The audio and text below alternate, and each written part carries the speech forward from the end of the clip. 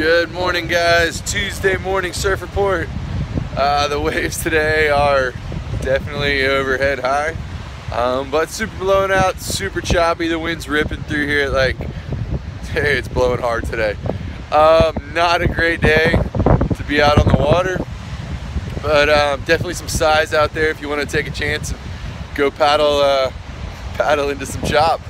Um, new in the shop, I just picked up four more custom Madden surfboards. So if you're looking for a new board, come check them out. They're super awesome. Um, got some great new colors on them and uh, a fantastic shape for this area.